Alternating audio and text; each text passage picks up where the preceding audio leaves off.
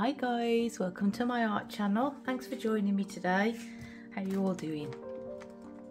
Colours. Right. Jessica Winterstrom's technique where she puts the um, colours underneath. I don't think she's thought of a, a name for her technique as yet. Um, it's kind of like a hidden colour technique. It does give a kind of galactic effect anyway I thought about trying to do instead of doing the black over the top to do a semi-transparent white. So I've got here iridescent white by Liquitex. Um,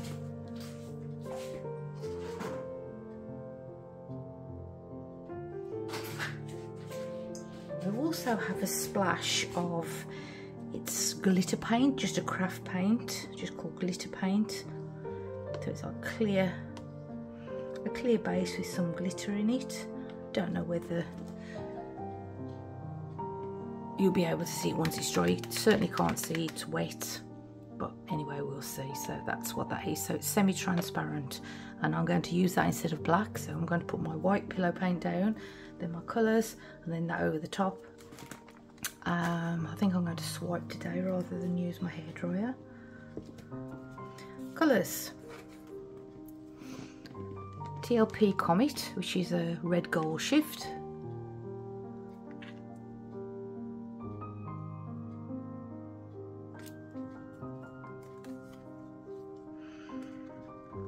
Liquitex Gouache Fluorescent Violet.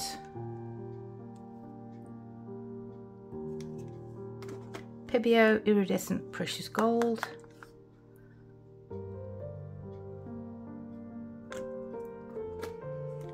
Golden Permanent Violet Dark.